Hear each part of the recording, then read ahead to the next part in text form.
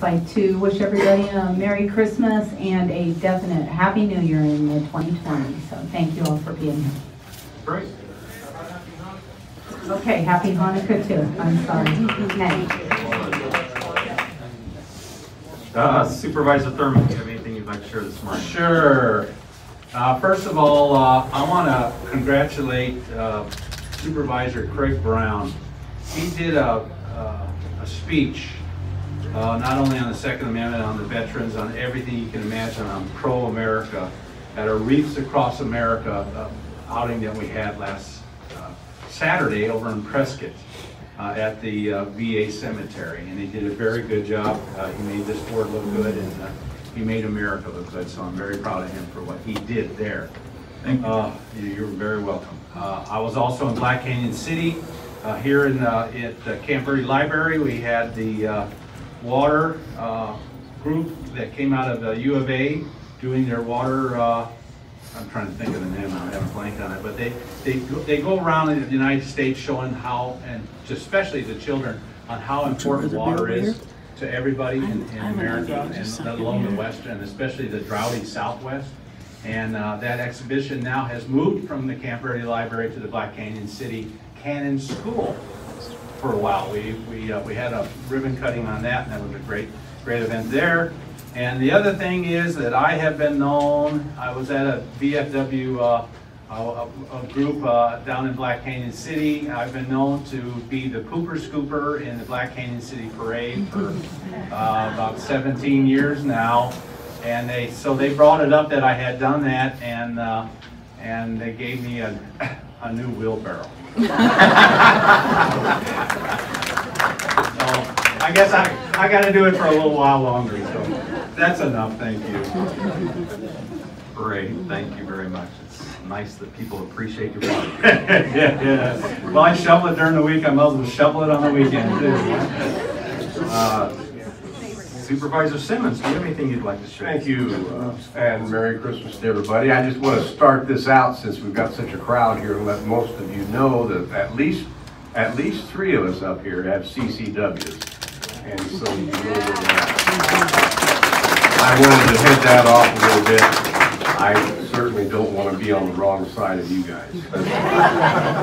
I, uh, I had the pleasure of attending the Whiskey Row Alley mural ribbon cutting uh, last Friday. And I don't know if you've driven by it, it's right behind the St. Michael's Hotel. And they're cleaning up the alley back there. They've done a beautiful mural up there. There's a little more that's gonna be done. It was really a fantastic day. Uh, I want to wish the uh, directors and all the staff a very Merry Christmas and joyous New Year.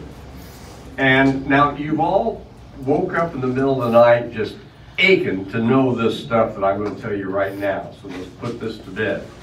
Today is National Twin Day. I'm sure you didn't know that.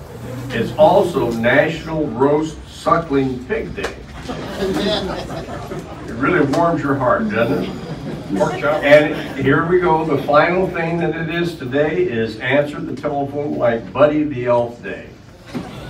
So, and those of you who woke up confused, I've just straightened out your day for you. Thank you, Mr. Chairman. Great, thank you very much.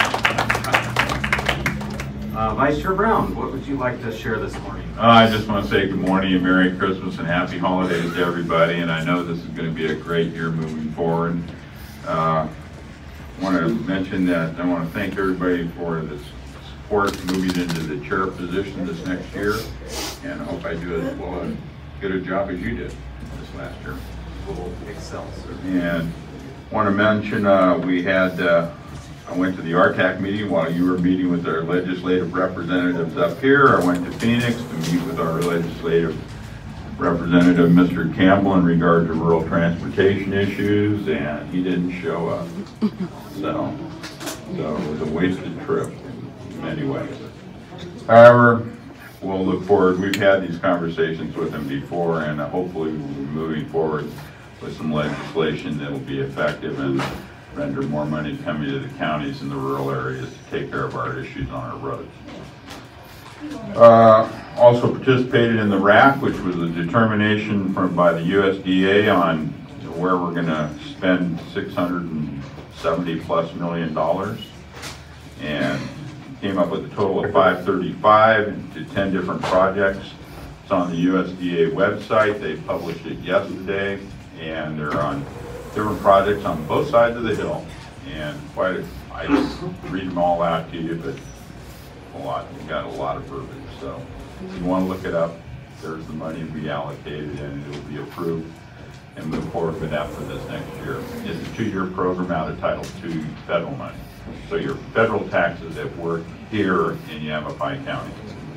So, uh, Attended the tree lighting, obviously, at the uh, plaza, and it was a wonderful affair, and I want to thank facilities for making sure all the trees lit up all at the same time, because the night before, they didn't.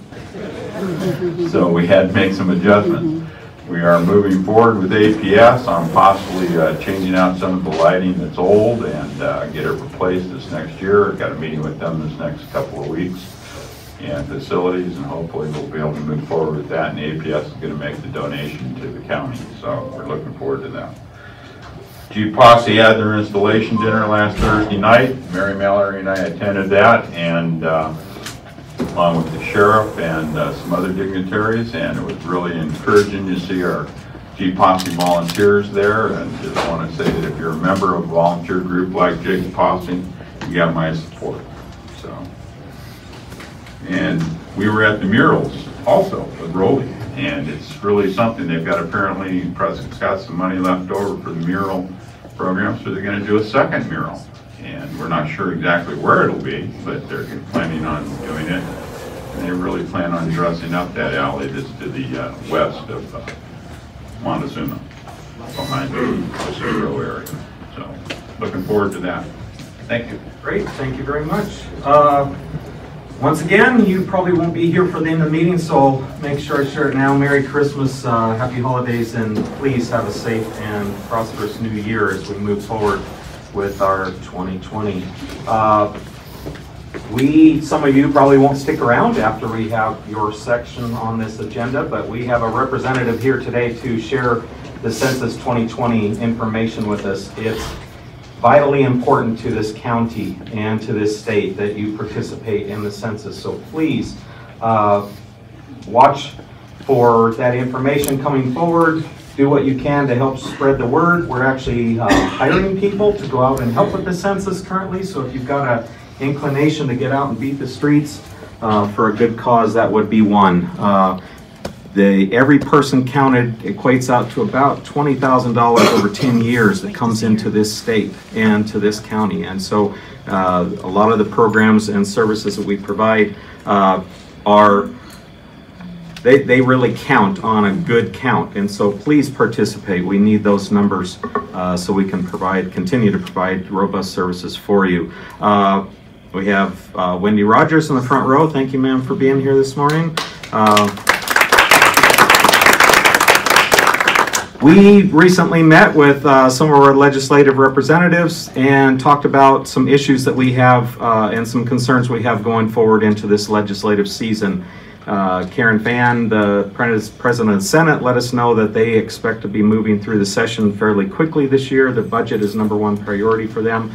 So they're going to be really uh, focusing on getting the budget done as quickly as possible and hopefully we can get them to do a few other things while they're there. Uh, some of the items that we put forward that we're asking for some support on is uh, currently if you're a county of 500,000 people or more, which only means Maricopa and Pinal, uh, Pima, you're, you're allowed to collect a bed tax in unincorporated areas. So we're asking for that 500,000 uh, limit on population to be removed. We have quite a few communities that would be uh, served very well and uh, allow us to create an income stream to provide more robust services in those, those communities if we were allowed to implement a bed tax countywide, just like cities and towns are able to do currently. So uh, we're hoping to get some support there. We also are asking them for some support on Title 36. Title 36 is a restore to competency. It has to do with mental health. We have people that tend to get in our system and find themselves in a uh, perpetual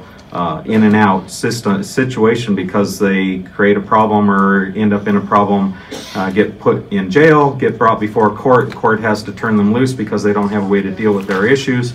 Uh, where they go back into society and create the problem all over again, and it just ends up being this constant loop. So we're hoping that the state will step up and, and put some legislation in place to put some benefits and some services in front of the people that need those, so we can quit spending our sheriff's time and our jail's time and the public's time and money dealing with an issue that could be better served by getting people the help they need.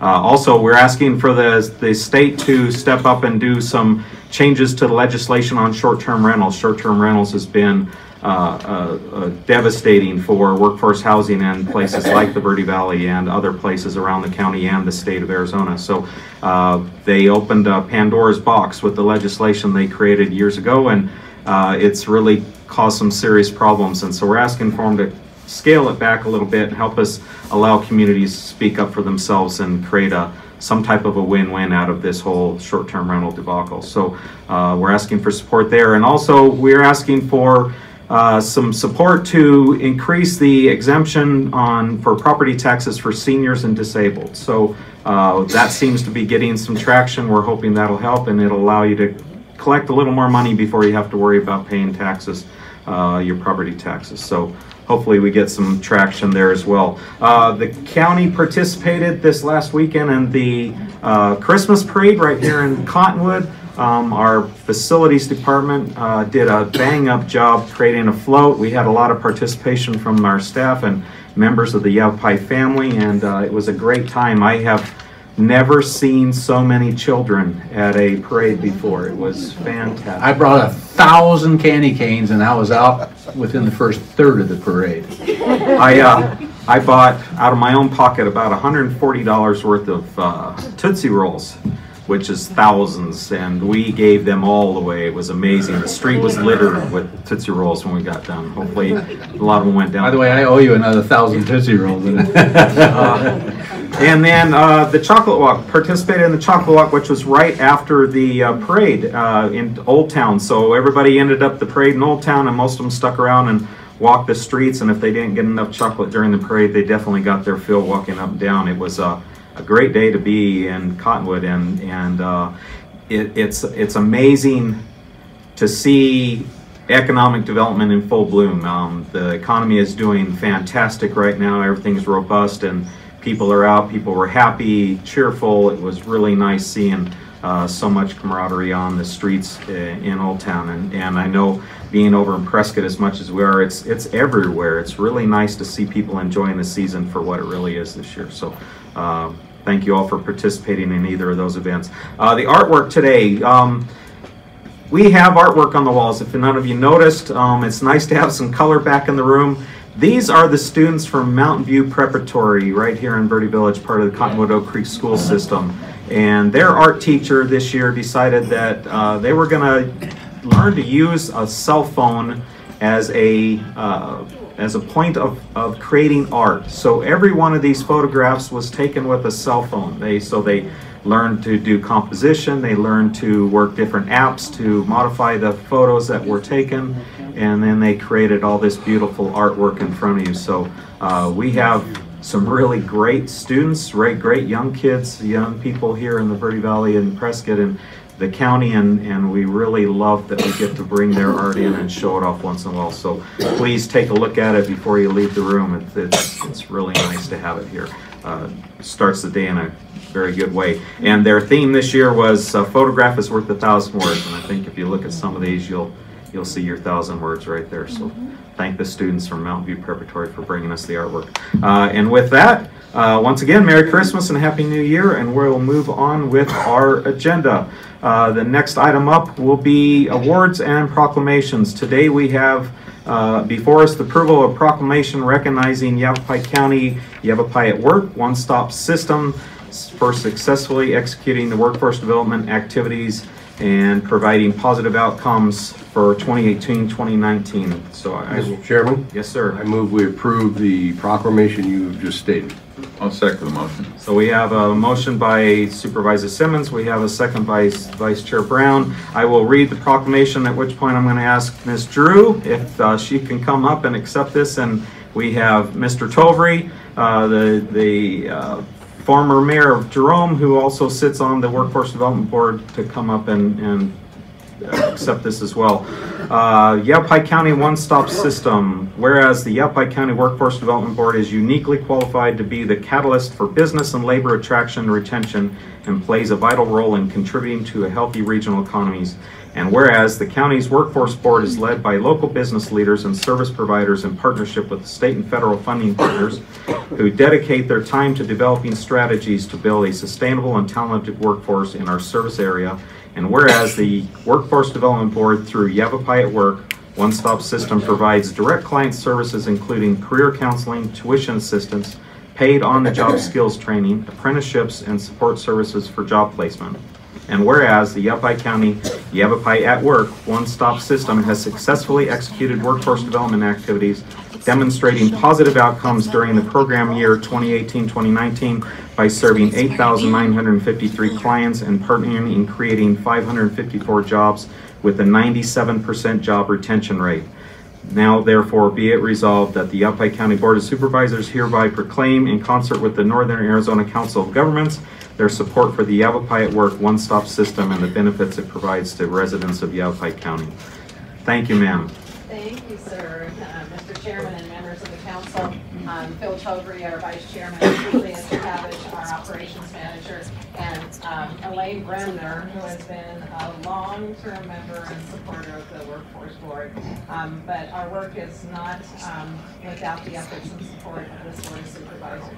Um, So thank you all for always standing behind this, for always supporting um, workforce development in Yavapai County. Uh, Mr. Bordon is by my side all the time. I appreciate you and um, thank you for this.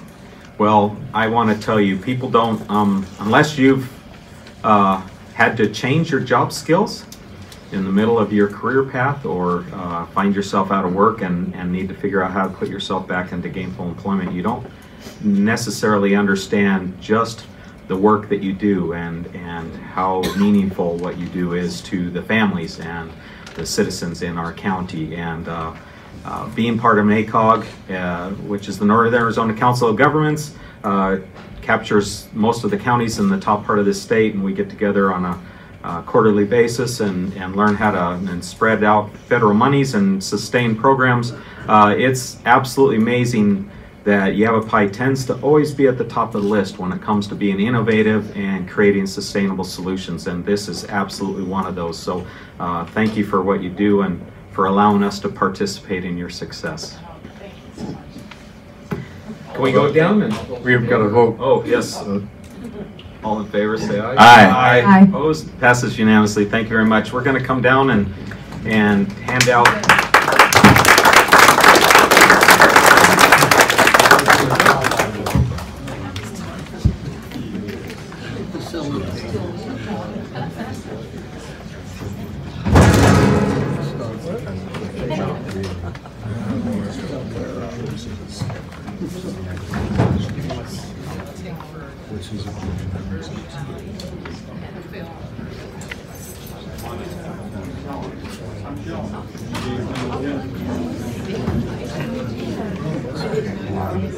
They must have given me the right one.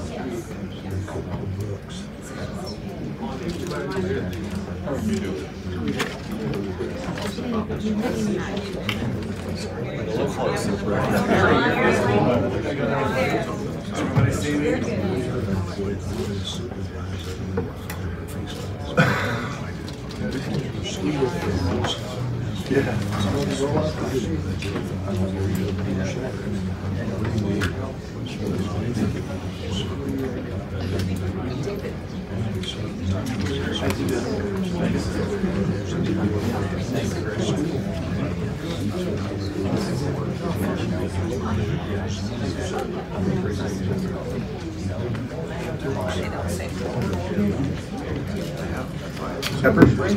Oh, sorry.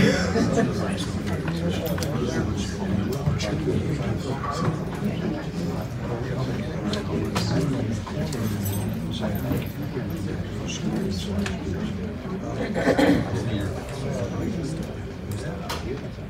you.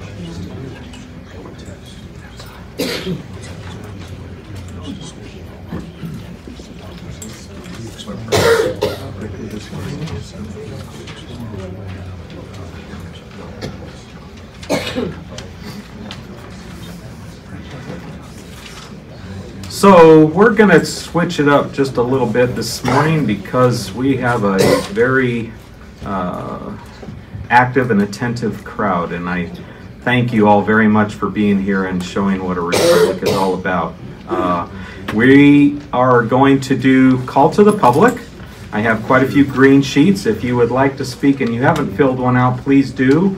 Uh, And turn one in for us. We need that for our records.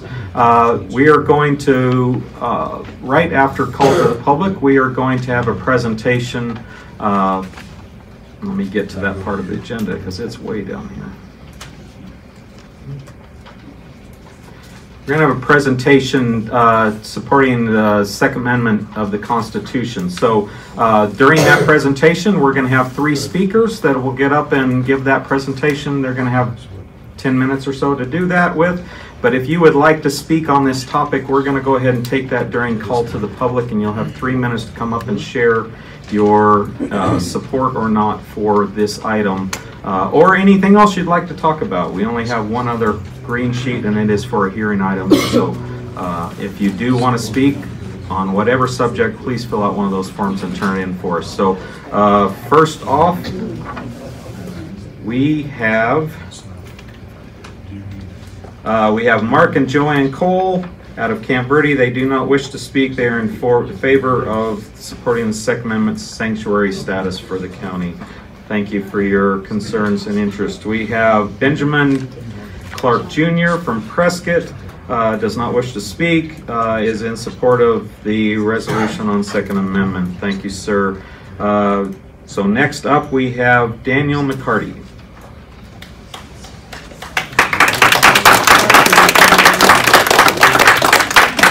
Right behind that, we're going to have Dr. Shakas. Thank you, sir. You're next after Mr. McCarty. How much? Three minutes? Three minutes, please. Three minutes. Yes, sir. Hey, Mary. Tom, Sworn, sir. great to meet some of you for the first time. I hate the fact that we have to meet under these conditions. Um, we need leadership at the county level now because we unfortunately have leaders in this country that are starting to popularize and authorize some of the most dangerous laws and legislation we've ever seen. The unfortunate part about this is that the measure that you're taking is not only needed, the unfortunate part about it is, is that if you don't take these measures, or if we do not mobilize and start taking these measures, the ramifications could be dire for your children, your grandchildren in ways that we never anticipated. The government has demonstrated what it will do as soon as you open up doors. And this is not a door we're willing to open. So at the county level, we appreciate all of you in advance for passing this resolution, for making sure that you make a stand. You tell the governor, you tell this country that Yavapai County is a safe place for our Second Amendment rights. Okay? And uh, I, I won't sit here and grandstand, but um, thank you for your leadership in this matter. Thank you for everybody in this room for stepping up and mobilizing. And this is the start of this. This will continue statewide. So it's uh, fantastic that you're going to join Mohave County in this leadership effort. So thank you very much.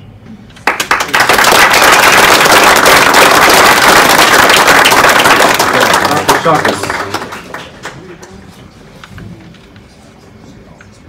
Is this thing down? Hold it for you, chief. Okay. Thanks, Sergeant. Oh, this is Careful. Might around the other way. Yeah. Thank you. Well, for those that don't know me. You okay? I'm good, thank you. For those that don't know me, my name is Dr. Bill Chakas. Um, I've been a resident in this county eight years next month. Um, you Mentioned uh, Mountain View Prep earlier, I volunteer there once a month. I teach uh, a fourth grade class, American History and Patriotism. I'm a retired educator, football coach, sports writer, and from 1979 to 1991, I was a United States Army helicopter pilot. And for the last nine and a half years of that, I flew for the Special Operations Command. Uh, Like I said, there are many people in this room that know who I am because I help run a group called Yavapai County Preparedness, which is a division of Arizona Oath Keepers. And um, I run the Verde Valley section, and there's some people here from the uh, Chino Valley group as well. Um, We're in favor of this because obviously we're a border state. Uh, There have been instances already of illegals as far north as Prescott, and I wouldn't be surprised if they're getting away with being further up here. We have uh, lots of crime coming into the area. Um, I myself was almost assaulted a few months back at the Safeway Shopping Center. If I wasn't street smart and formerly from the Bronx, I probably would have got ripped off. Um, we really need this to get done. Uh, Like Mr. McCarthy said, and I hate him stealing my thunder, but he's a worthy guy to do it. Uh, We need uh, our elected and appointed government to support the Constitution, especially the first 10, the Bill of Rights. Because without the Second Amendment, we don't have the other nine. And um, it's very important. It's very important to me. It's what I taught back in New York City, and it's what I teach here.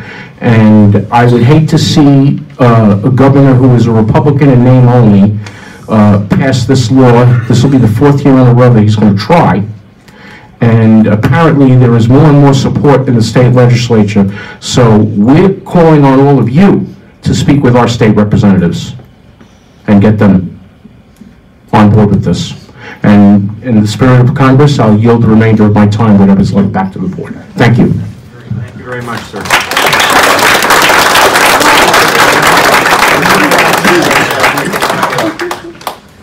Next up, we have Chris Kukino, and then right behind that, we have John Stankiewicz. Oh, I got to stay for John. Um, you guys, there's, there's this fungus growing in this country and it needs to get eradicated. It's, it's spread to Arizona and it's called red flag laws. Um, they're getting popular all over the place. Last time the, the governor, and I can't believe a Republican governor is doing this, but he, he put it across as Safe Arizona Schools and they published this pamphlet.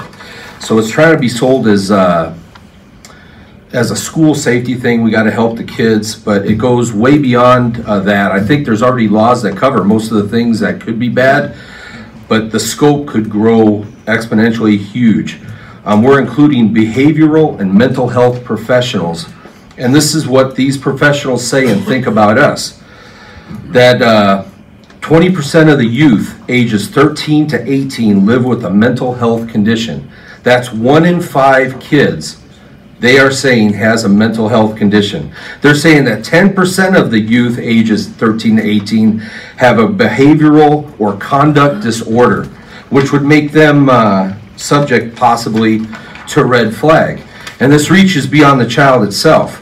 Um, this, in their plan, in their words, they say our plan increases the penalty for any parent or guardian of a minor found guilty of illegally possessing a firearm. So now not only can you tap the kid, now you can get to the parents. Um, violators are subject to a class four felony and would face a minimum of a year and up to almost four years in prison. They have set up in this plan a, a anonymous hotline so now you don't even have to face your accuser anymore. It can be an anonymous tip that sends somebody to your house. You know, you don't like somebody, you could say, you know what, I heard these things. It's, I think you got to send people over there. The scope can get really bad on this. Some states have already let this sucker out of the box. Maryland has already rated over 200 people on this. Uh, Virginia is actually considering calling out the National Guard to enforce their red flag laws. Once you let this out of the box, it can just go. And with these uh, these mental health professionals, these are the same people that said our president is incompetent to run this country. He needs to go down because he's crazy. Now we're going to put them in charge of, of our Second Amendment rights, and that's not right. So please support this uh, proclamation. All it really does, it really gives you guys cover, if anything. You know, you can say, well, we voted for this because it's coming from the state. And I tell you what, there's a lot of people that are going to fight it when it's at the state. Thank you very much. Sir, before you get- I, I failed to let everybody know, we, we need you to state your name and where you're from. I don't need your physical address, but if you let us know where you're from for the record, please. Sure, I'm Chris to speak. Cupnio, and I'm from Prescott, Arizona, and I love to drive over here, meet here anytime. Great, thank you, sir. And you're not anonymous. All right, we have John Stankwitz next, and behind that, Mark Smith. Good morning, sir. Good morning. My name is John Stankiewicz. I'm from Chino Valley, Arizona. I am the CEO of the Compass Training Center AZ, which is also in Chino Valley, Arizona. That is our, since August 1st, new shooting range there in Chino. Uh, prior to that and continually now, I'm the uh, Chief Operating Officer of Nielsen Training and Consulting. We are a firearms training and consulting organization uh, that conducts firearms training to law-abiding citizens throughout the United States. Thank you for giving me a moment to speak. We're talking today about what is happening with the Second Amendment, what is happening with how people can be reported. And I'll be brief because I know you have a lot of people speaking today.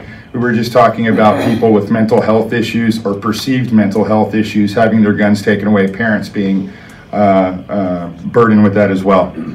Last year, I traveled to Austin, Texas, Houston, Texas, Mobile, Alabama, and Carthage, North Carolina to conduct training to law abiding citizens in this country. If current legislation keeps going forward in the state of Virginia, I would be a class five felon. Me. I've been doing this for 33 years. I was teaching cops active shooter drills about 10 minutes after Columbine happened. I had a career as a police officer. I'm honorably discharged from the United States Navy. I'm a past commander of two VFW posts. And if I walk into the state of Virginia, I could potentially be a felon. I don't know what a class five felon is, but I know what a felony is. And if it can happen to me, it can happen to all of us. Arizona and Virginia are not next to one another, but we have a couple things in common. We're both in the United States of America, and we're both supposed to be abiding by the Constitution. There are things that need to be done to put a stop to senseless mass shootings. And I will volunteer my time to help get us there.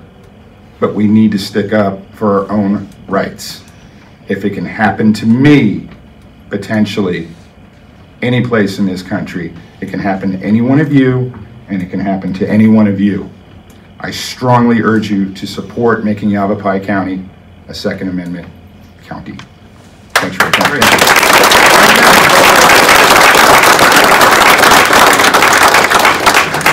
Um, before we have Mr. Smith get up and talk, can you all hear out in the lobby? Do we need to turn that up for you? Thank you very much for sticking around. Uh, Mark Smith is up next, please. And behind that, we have Maria Lyman, Lynam? Lynam. Morning, sir. Good morning, sir. My name is Mark Smith. I'm a resident of Chino Valley, Arizona. I'm here today to speak about the difference between a Second Amendment sanctuary resolution and a Second Amendment sanctuary ordinance. And to provide the Board of Supervisors with a draft ordinance, which is what I hope you're getting right now, uh, as written by the Gun Owners of America. Simply stated, a resolution by the board carries no legal weight, provides no backup for law enforcement if and when they follow their oath of office and refuse to enforce illegal gun control laws. On the other hand, the draft ordinance that I presented to the board does carry the full legal authority of the board, does provide full backup to law enforcement and other public employees who follow their oath of office and refuse to enforce illegal gun control laws. The draft as presented to the board provides proper exemptions duly noted in the draft, penalties, due process procedures, and still allows citizens to follow illegal gun control laws if they so choose to do so voluntarily without penalty. The draft, in fact, is being passed in hundreds of cities and counties across the country, as we here in Yavapai County should set the example for Arizona and pass this as an ordinance without delay. I, I would like to emphasize as an ordinance. I know we won't do that here today because the council needs to review it. Doing so would show your support for your oath of office and your support for the second, the fourth, the fifth, the ninth, the 10th, and the 14th Amendments of the Constitution of the United States. Stand up for America. Stand up for Arizona. Stand up for Yavapai County. Thank you for your time. Thank you.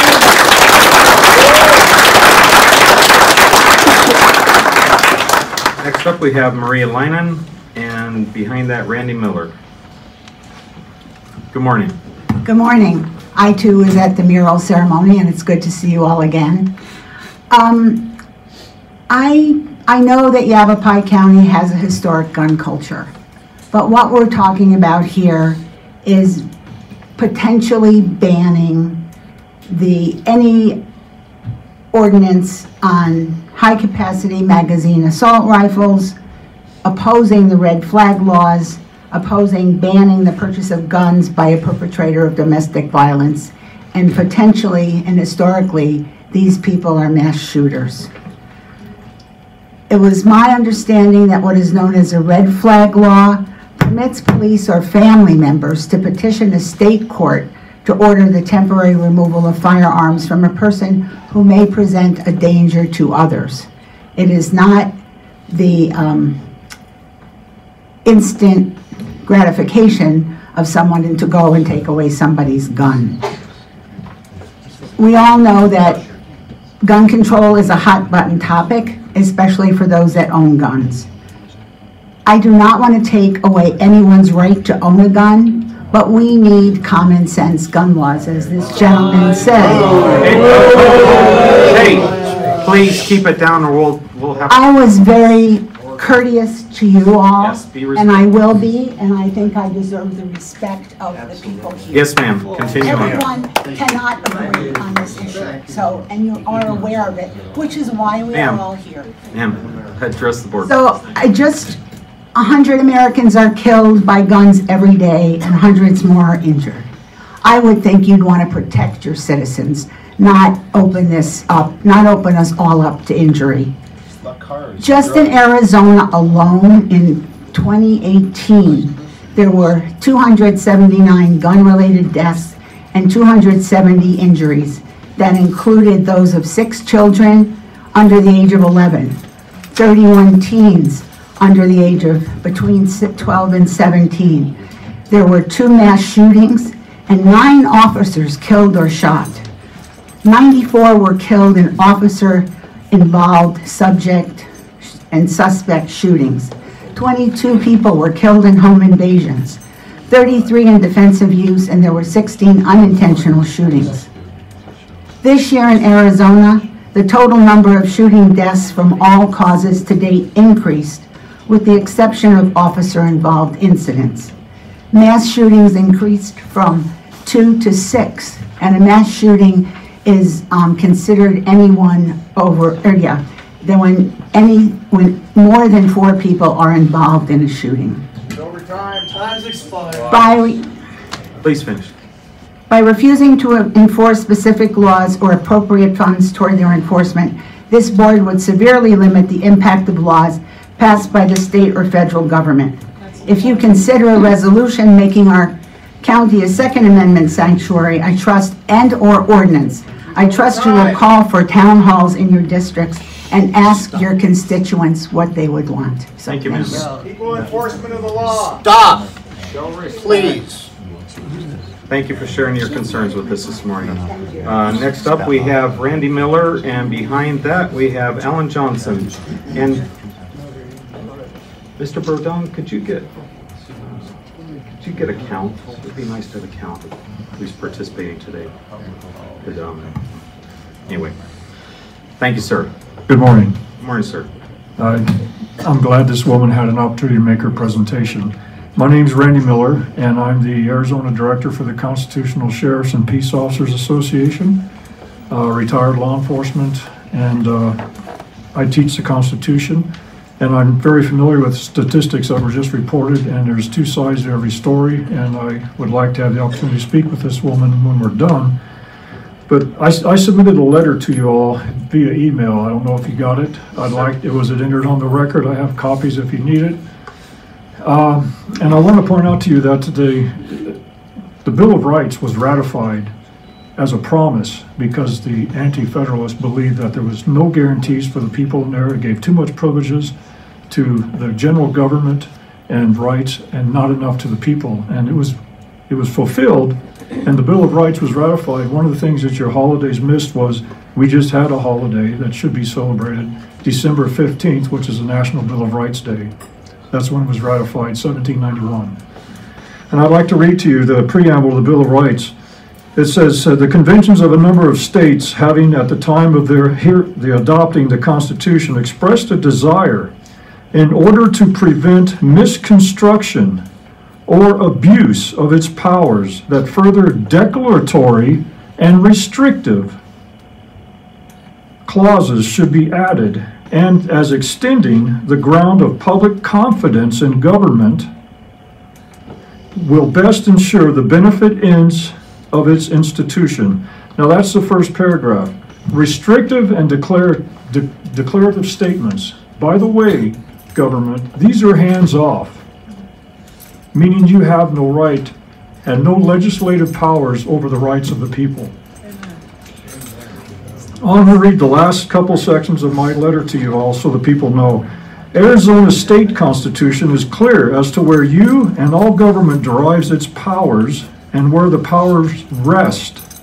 Article 2, Declaration of Rights of Arizona's Constitution, Section 2, says, all political power is inherent in the people. These people here in this room have political power. It comes from them granted to you all. Government derives its just powers from the consent of the governed, and government is established to protect and maintain individual rights. Your purpose is to maintain the rights of the people. All these statistics that were written, if you want to look at those, let's look at hammers. More people are killed by hammers than firearms. Should we outlaw hammers? Or have contractors register their hammer with you all? I don't think so. Herein lies your responsibility and purpose, which should make your decision easy, requiring little thought. You took an oath. Your position is in service to the people, and your responsibility is clear. Government has no legislative authority over the rights of the people. If this were so, then they wouldn't be rights, and they would be, they can be changed at will of those in charge. The people and I are here before you not to ask you to protect our rights. You already promised this when you took your oath. We are asking you to be, to uphold your promise to the people and vote in accordance to it. I thank you for your time. Thanks, sir. Could you please? Uh, Randy Miller, and I drove up here from Phoenix. It's a little warmer down there, but yeah, I enjoy your community. Thank you. Thank you very much for making the drive and sharing your concerns with us. Um, I want to remind everybody, this is, this is a public forum. Um, It's our board meeting, it's, you know, so please address the board. We are anxious and uh, we're, we want to hear what you have to say regardless of how you feel. That's, that's one of the rights our Constitution has provided us, is the ability to, to gather and share our concerns and our opinions with each other. So please allow everybody to do that in a very respectful manner. Thank you. Um, we have Alan Johnson up, and behind that we have Brian Tegerdu. Teger, Tegerdu. Tegerdu. Thank you, sir. Hello, my name is Alan Johnson. I live locally here in Clarkdale.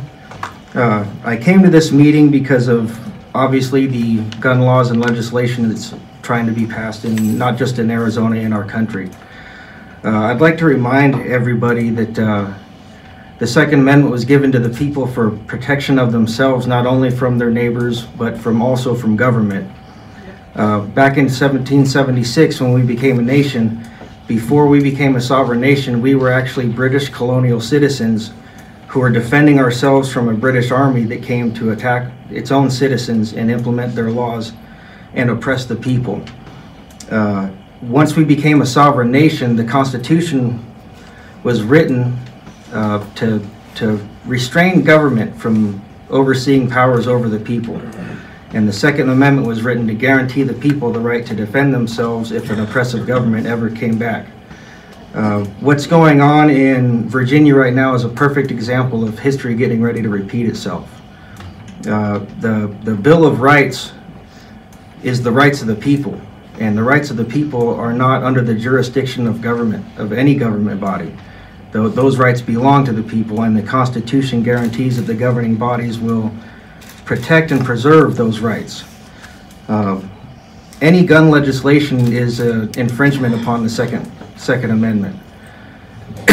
And with that being said, I just want to recite two quotes, two of my favorite quotes from the author of uh, the Second Amendment, Alexander Hamilton. One of them being, "The Constitution shall never be construed to prevent the people of the United States who are peaceable citizens from keeping their own arms." The second quote of his that I really like is, "A well-regulated militia is the most natural, natural defense of a free country. As free citizens, we have the right to own and bear arms to protect ourselves from any threat, whether it's domestic, whether it's foreign, uh, whether it's our neighbors, whether it's a herd of deer about to trample us. It, it's our right to own these guns. Uh, good people do good things with them, bad people do bad things with them, but it doesn't matter what the tool is. Bad people will do bad things. Good people will be there to protect innocence from bad people. That's Uh, I, I don't agree with any gun confiscation law, red flag law, or any, um, any laws against guns, magazine capacity, or anything such. Uh, I would really like to see the council uh, protect these rights and have Yavapai County become a Second Amendment sanctuary county. Thank you. Great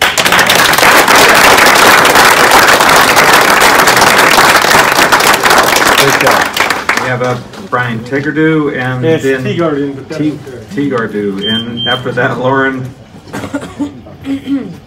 Howdy, my name's Brian Teagarden. I'm from Paulden, Arizona. My family's been in the territory since 1880. My great granddad was one of the first Arizona Rangers. Okay, so when you talk about being sanctuary city, it's about our county and everything. It's about time. It's about time. And I'll, I'll be danged if I'm giving up my gun rights if somebody come up on there. I'll guarantee you. My family's been here and we fought everybody and anybody to make sure this was a safe territory. So thank you for your time. Thank you, sir.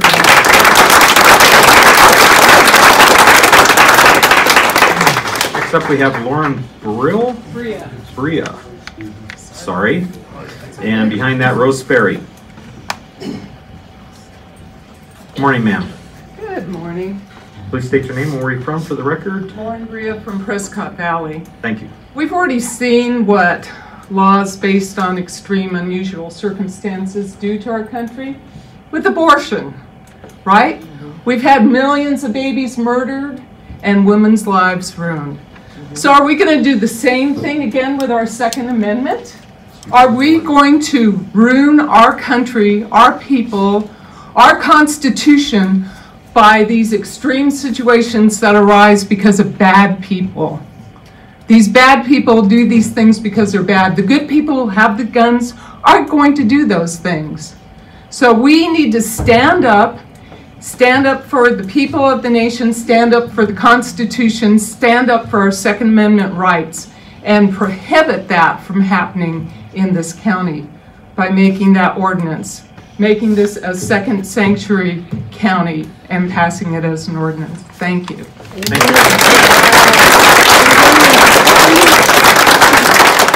have Rose Sperry, and behind that, we have Sherry Mitchell.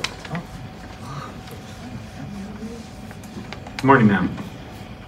Good morning, and thank you for allowing me this privilege to speak to you. It was not gun violence that killed our daughter, Michelle, our only daughter, in 1984 at the McDonald's massacre in San Ysidro, California. It was a human being, not a gun.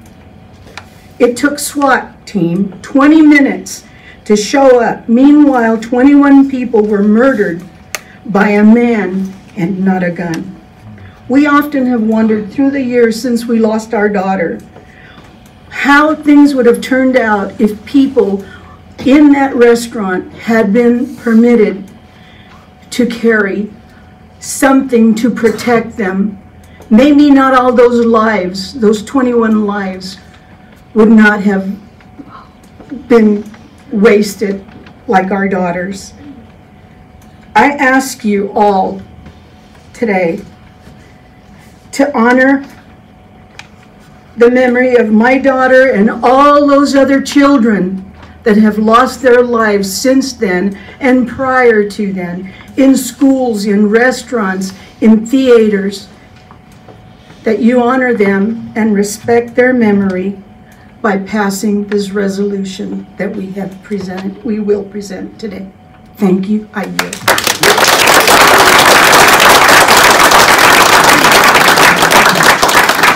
Rose, I think I can speak for the entire board. Uh, We are sorry for your loss. Thank you for sharing with us this morning. Uh, Next up, we have Sherry Mitchell. uh, Does not wish to speak.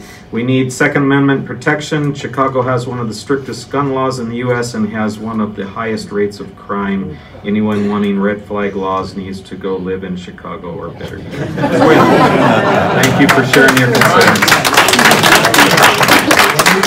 Next up, we have Ms. Penny Pugh, who will be here uh, presenting a letter from our Congressman Paul Gosar. Ms. Pugh, thank you for being here. Thank you, Chairman Garrison, members of the board. Uh, It's my honor to be here on behalf of Congressman Gosar, who strongly supports this resolution. For the following reasons, uh, which are outlined, each of you have a copy of the letter that uh, uh, the congressman sends. It says, "Dear Supervisors, I am in Washington DC today, stuck, voting to stop a grave injustice to our president, a fake impeachment effort that was planned before the president was even sworn into office. I have opposed this hoax on the American public, and I remain in DC to continue the fight this week. Thank you for giving me the opportunity to address the issue of our God-given right to self-defense. Our founding fathers were brilliant people who understood that every person has a right to defend themselves, their families, and their country. This right to self-defense can involve the right to defend against violent criminals. It can also mean the right to defend our communities from a- an oppressive government. History teaches us that both of these events occur, and the people have a right to be ready when and if they do.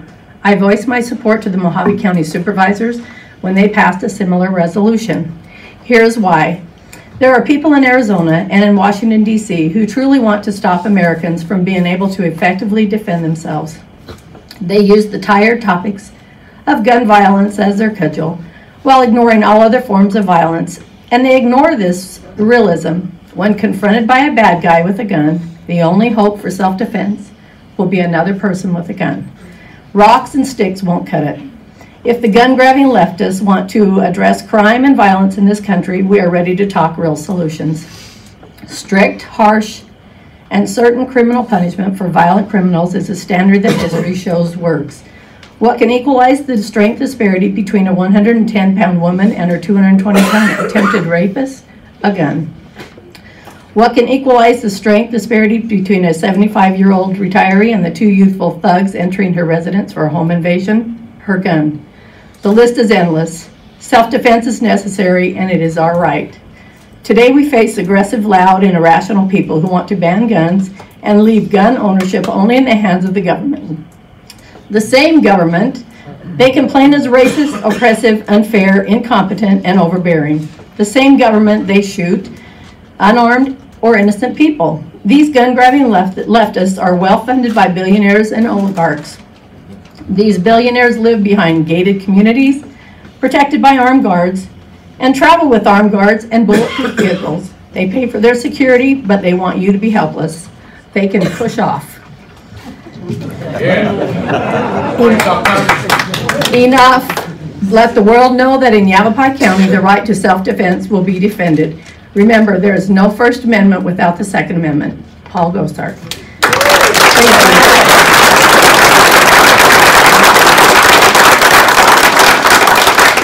Thank you, Ms. Pugh. Thank you for, and uh, thank the Congressman for us for taking the time to share his opinion and concerns with the board. So thank you very much. Uh, We have Elliot Schulman uh, from Prescott, uh, wishes not to speak, is in favor of this item. It is essential that every American community take a strong stand against the movement to subtly remove Americans from the umbrella of the Constitution, principally the Second Amendment.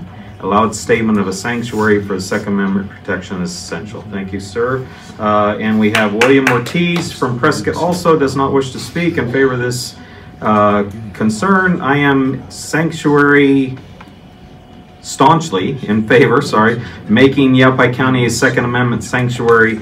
The Second Amendment is the only thing standing between freedom and tyranny, and any attempt to limit it will eventually lead to tyranny and authoritarian, authoritarianism. So thank you for sharing your concerns. Uh, do we have anybody on the other side of the mountain? Thank you for being a crowd today. Uh, welcome to our meeting. Does anybody over there have anything they'd like to share? Good morning, ma'am. There's no one here that would like to share their comments. Great. Thank you very much for participating and watching the meeting. Uh, with that, uh, we will move on to the actual presentation on this item. Uh, we will have three people that are wishing to come up and present this. It will be uh, John Mitchell, Drake Mitchell, and Myrna Lieberman. Could you please present in that order? And you have about 10 minutes collectively amongst you. So thank you very much for being here today. Before you get started, I, I want to make sure everybody in this room understands who you're talking to and, and our our belief in not only our job but what we signed up to do and the oath that we took. We we swore our hand on the Bible stating we would protect the rules and the and the regulations of the country and and our state, uh, upholding both constitutions. And you're not going to walk into an office of any of the people sitting up here and not find a copy of our Constitution Bill of Rights on our desk, if not also framed on, on our walls. So we very much understand the duties that have been given to us and the rights that you have and our need to protect them. So so I hope I hope you don't think we're I just want to make sure we put that out there because we keep getting told we have to up- uphold the Constitution. I think we know that very well, so thank you very much. Certainly, and um, greetings, uh, honorable board members. What I'm going to do briefly is uh, I'll, I'll probably um, bypass some of the comments because some of them were made, uh, I think, better than I could have made them. But um, I wanted to address you first. Greetings to all you honorable board members. I appreciate what you're doing, and, and I really appreciate the process and the time you've given Chairman Garrison, uh, Mr. Brown, Mr. Simmons, Mr. Thurman, and Ms. Mallory. I'm John Mitchell from Cottonwood, Arizona, and I, I just wanted to read these through. You all have um, copies of these, so I, I'm going to move through this rather quickly. I sincerely wish I didn't have to be there nor take time to uh, hear the hear uh, hear this proposition or discussion of these matters being already codified into national and state law, yet presently constitutionally illegal political circumstances compel me to come and plead with you all, trusting that you will understand the nature and need for a Second Amendment sanctuary resolution. And in that copy, you'll find a graphic of what I'm speaking about that's growing right now. The only thing I wanted to cover quickly is what are rights and what are privileges? Rights are recognized by men as societal norms and a freedom in a form of freedoms that are available to people by virtue of being citizens of a country and members of a society. Rights are generally known to be considered fundamental and inalienable privileges are special benefits or permission granted to an individual or group based upon status, class, rank, title, or special talent. Rights come from God and His authority recognized by men. Privileges are granted by men. And um, essentially, what I wanted to do here in closing is uh, my serious concern and what I absolutely don't want to see is increased felt desperation grow on the part of many free, law abiding, and constitutionally knowledgeable citizens who treasure all these enumerated rights as given by God. Um, I know I now my prayer and hope is that you as elected representatives uh, in a body will do the right thing for all of us for as local or I'm sorry as law-abiding and tax-paying citizens I know we will be watching and standing thank you Thanks, sir.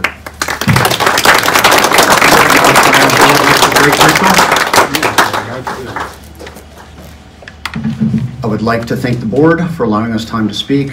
Thank my fellow veterans and the citizens of Yavapai County for attending. Much has been said about the Second Amendment. Very little has been said about the Arizona Constitution. Part of Section 26 of the Arizona Constitution is titled Bearing Arms, and part of it reads, "The right of the individual citizen to bear arms in defense of himself or the state shall not be impaired." It's even clearer than the Second Amendment. So there is no ambiguity in what you're doing. Now, you've been asked to do a resolution. We feel that is something quick and easy that you could do here today. It's not making a law, it's not enforcing any fines or punishments, it's not creating a crime. It's basically asking you to say you, you will follow the Constitution and the Bill of Rights and the state constitution. We also have put forward, apparently now, several ordinances. Mine, um, if you'll look in your handouts, it's got handout one through three, and then one that actually says Yavapai County on it. Our ordinance was put together by a set of Arizona attorneys that follow constitutional guidelines in Arizona for ordinances and laws. Okay, it's very specific. It is bookmarked what section gives you the authority to do this in the Arizona Revised Statutes, what part of it follows both the state constitution and the federal constitution. Although a resolution is wonderful, it is just a mere opinion. We would appreciate if you would look into the ordinances that would have the strength of law and put teeth into what would otherwise be just a mere opinion and criminalize the violation of the citizens' rights of Yavapai County. Thank you very much for your time. Thanks, sir.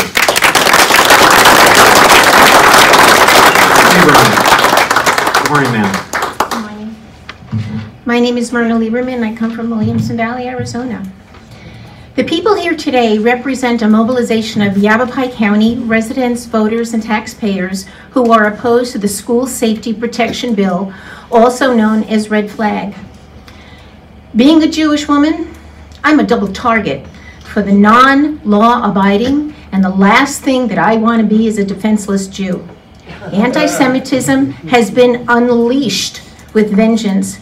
The most murderous acts of anti-Semitism took place in 2019, only six months apart, in Poway, California, and in Pittsburgh. Eight days ago, he, on December 10th, Jersey City, there was another deadly attack. The target was a kosher supermarket and a Jewish school. And if that wasn't bad enough, the community of Jersey City blamed the Jews for the violence against them. As a woman, the gun is the great equalizer, the adage, God made man, God made woman, but Sam Colt made them equal, gives me a chance. And thanks to our Second Amendment freedoms, there are women all over our great state and this nation who are arming themselves for self-defense rather than risk being victims of crime. We are responsible for our own safety. As has been said, when seconds count, the police are minutes away. Yeah, they're there to put up the yellow tape. Crime happens every day, everywhere. We hear about the brutality of fights in the streets and in urban subways. And instead of having people stop it, we have people who record it and put it on social media. This is how callous our society has become. There's violence on college campuses as mobs harass speakers. Acts of anti-Semitism have become more common on these campuses. Students curse and they spit at the teachers. Water is thrown at the police. They spit at the police. There's no respect for authority. There's little or no accountability for antisocial behavior. And when that happens, we can encourage more of this behavior. Those who espouse gun laws, they don't care about the safety of women and they don't care about children and they don't care if people are helpless in their homes. Red flag law may be well intentioned, but history shows us that laws can and did have horrific consequences. Gun registration and confiscation in Nazi Germany set the stage for the Holocaust. Disarming innocent people will not stop crime. History has shown us that in major genocides of the 20th century, at least 74 million people were slaughtered by their own governments. Each mass murder was preceded by enactment of gun control laws. Each murdered population was first disarmed, and then government when looking for an unpopular group on which to pin their problems. The United States of America is the only country in the world with a right to keep and bear arms without constitutional restrictions. For more than two centuries, it has provided a stable, free government and has been a model for emerging countries of the world. We are here to ask the board to approve a resolution declaring Yavapai a Second Amendment sanctuary county.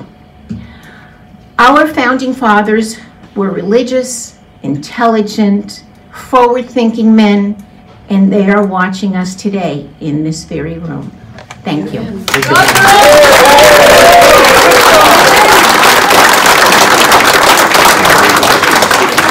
Thank you all very much for being here today. That's going to be the conclusion of that item for us. We will be giving staff direction on how we want them to go about and bringing this back. Uh, And it'll be Mr. Brown's, uh, Vice Chair Brown's turn to, uh, to bring this before you. So uh, once again, thank you all very much for being here today to share your opinions and your concerns. And Merry Christmas and Happy New Year. Thank you. You will see a resolution from us. Uh, Thank you very much for allowing us to take a break. Um, We probably should close that door. Thank you, Mr. Van Kuren. Make sure it's not locked. Kenny, might check it, make sure it's unlocked. Please. Yep, good to go. Thank you, sir. Uh, Thank you all for your patience. Um, It's always interesting to get an item on our agenda that provokes so much emotion and uh, concern. So thank you all for participating in the meeting and uh, sticking around for the rest of it. Uh, We'll move on with consent agenda. Uh, Ms. Mallory, do you have anything you would like to pull today? No, I'm fine, thank you. Great, thank you very much. Want to make sure we are there. Yes, we are. Moving all over the place. Uh, Supervisor Thurman, do you have anything you'd like to pull this morning? No. Supervisor Simmons, do you have anything you'd like to pull this morning? Nothing, Mr. Chair. Vice Chair Brown, do you have anything you'd like to pull this morning? Well, no. But we have one item that has been asked to be pulled. That is item number 12, uh, which, uh, would you like to come up and, do you want us to pull it and table it, or did you want to present it? Okay, please come forward, sir, and let's move, oh, well, let's, hold on a second. Mr. Chair, I'd like to make a motion to approve the consent agenda i- item uh, list other than item number 12. Second. So we have a motion by Supervisor Thurman, a second by Supervisor Brown to approve the consent agenda as presented minus item number 12. All in favor, say aye. Aye. Passes unanimously. Thank you very much. Good morning, sir. Good morning, Chairman Garrison, members of the board. I'm Brandon Schultz, Assistant Director for the Facilities and Capital Improvements Department. Um, I asked for item number 12 to be pulled uh, just for discussion purposes. Um, We had put together a contract with the geotechnical engineer for the criminal justice building, a new facility that we are doing. And in the final throes of review, we realized we needed to add a couple more items to their scope, uh, a couple more test pit locations, increase our scope uh, by just a little bit, and added an extra $500 to the contract. So you want to move this until the January 2nd meeting? No, So you can make the correction? I would love to have it. And they're available to the public to review? Uh, Let's move on. No, actually, if it's acceptable with the board, I would prefer to uh, move forward with it today so that we can get the geotechnical uh, consultant moving on the project. Mr. Supervisor, Mr. Chairman, I move that we uh, approve item number 12 with the adjustment that he is suggesting. Second. So Mr. have- Chairman, I'd move to move into the jail district board of supervisors. Uh, We, we are, actually. We are resolved by hearing this item. Uh, So hold on a second. We have a motion by Supervisor Simmons. We have a second by Supervisor Thurman. Discussion, Mr. Vice Chair Brown. um, And be it known that we are resolved as the Board of Directors currently of the Yavapai County Jail District. I just think that the uh, public, since we're making a change to a contract and something like that, that the uh, public needs to be able to be apprised of it and have it written for them so that they can review it before we move on. Mr. Chairman, I'd like to insert, that I don't see that a $500 change for the contract this size is going to create a real stir, nor should it. But so noted. Yes. No, I think you're absolutely correct. Um, We uh, strive to be, if nothing else, transparent in everything we do, and I think we've been following that to a T when it comes to the discussion on our criminal justice center. Uh, But as noted This is a very minor change. It's just an increase of scope of business. It's less than 1% of the total fee that's being allocated for this service. And uh, in order to continue on with the work that we're doing, think it's only prudent that we move forward since there is no monumental change in the uh, contract that's being offered to us. And it will be available in its totality on our website as soon as we approve the minutes. So Call for question. Yes, sir. Uh, All in favor, say aye. Aye. Opposed? Passed unanimously. Thank you very much. Thank you. We will now move on to action item number one. This is to approve the transfer of contingency fund money in the amount of $15,000 for contribution to the Verde Valley Regional Economic Organization for the Verde Valley Housing Needs Assessment. And today, uh, we have Mary Chicoine here, that is uh, the CEO of Verde Valley Regional Economic VVREO, as we call it, uh, to answer any questions. This was an item I brought forward, so let me give you a little history on what we're talking about today so you fully understand what's being asked, uh, not only amongst the board, but the public as well for a little over a year now. We've been meeting. Uh, this started out with a, a discussion between uh, the mayor of Sedona, Sandy Moriarty, and Justin Clifton, the city manager for Sedona, and, and our office on the need to start uh, looking into how we deal with workforce housing in the Verde Valley. Uh, it has it has become uh, stifling to our economy to deal with housing. You cannot go someplace in the Verde Valley currently that you don't have to enter into a conversation or hear a conversation about the difficulties people are having finding places to live and raise their families. So uh, it's become a, a severe problem. And so we decided that we would put together a group and make this a broader conversation and bring everybody in the Verde Valley forward with this. This has also been shared and, and our purpose has been shared with the Prescott area as well, and we've been in constant contact with the mayor and the city managers of not only Prescott but Prescott Valley on what we're doing and uh, how they may want to watch this and see how it would affect their community as well. They're not under quite the same stress we are over here, but what we have before us is going to be everywhere soon. So uh, we brought in all the mayors and managers from all over the Verde Valley. Uh, we meet probably every other month, quarterly at least, and we have uh, moved forward with discussions on how we deal with workforce housing uh, and the need of such. And uh, in the Verde Valley, uh, most of the cities uh, currently are not capable of housing the workforce within their own city limits. 80% of Sedona's workforce lives outside of the city of Sedona. Uh, not a good situation when we have transportation issues, we have road issues, we have uh, just all the different problems that come with transportation transit and the need for increasing those. So uh, we met, we've been going through this. Uh, Sedona decided they would come forward and put together a workforce housing study. They went out and hired a uh, consultant to put together one. Uh, I think they're charging about 60 grand to put this workforce housing uh, study together. During the discussions at our meeting on the scope of this project, uh, we asked if, uh, and that was we as the Yavapai County asked if this wouldn't be maybe necessarily a better conversation undertaken by everybody in the Verde Valley because uh, what happens in one community here affects every other community. And since most of the housing is outside of the areas of those developments or those incorporations, uh, it is it's kind of on all of us to deal with this as a regional effort. And so uh, the Yavapai County, if you haven't seen all the emails coming at you left and right, currently we're under attack over here from larger developments. Those are being pushed forward and being considered mostly because we have such a workforce housing issue over here. So the idea of this study was to go out, find out where the available lands are, find out where the workforce is living, where they're working, and what we can do to accommodate trying to find some solution to dealing with this problem.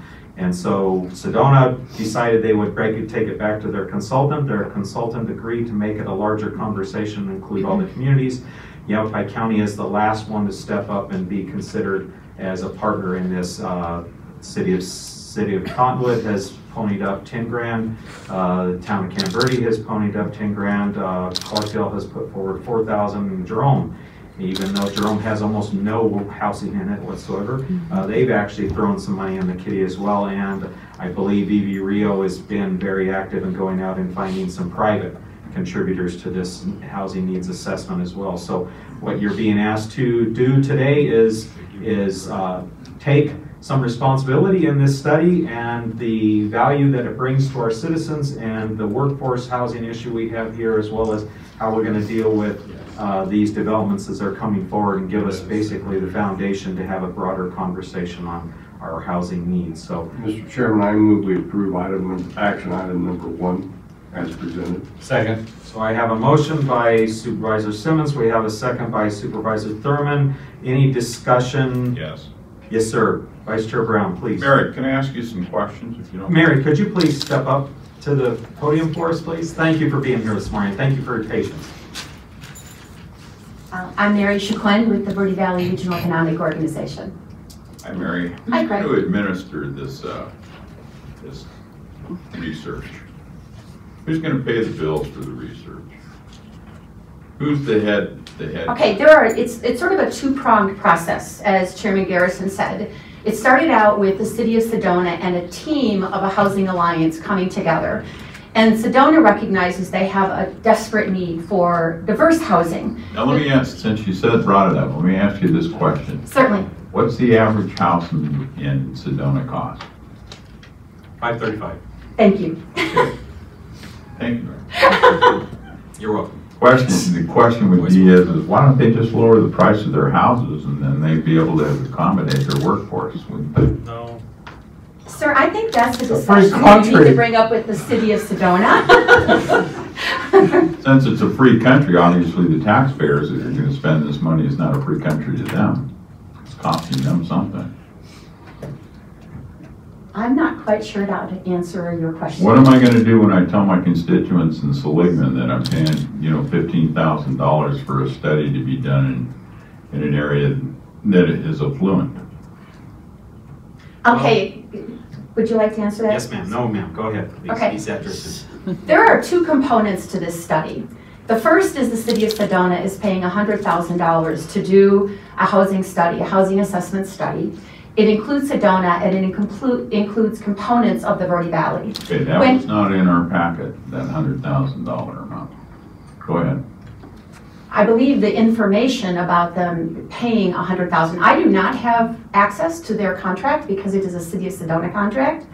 When we saw, the group saw what the City of Sedona was doing, um, we spoke with them and the housing committee that we have, the alliance that represents the entire Verde Valley, and said, what would it take to do an entire assessment of the Verde Valley in conjunction with what the City of Sedona was doing? And there was agreement by every one of the communities that that was a really good choice. And the cost of adding on the rest of the Verde Valley is $40,000.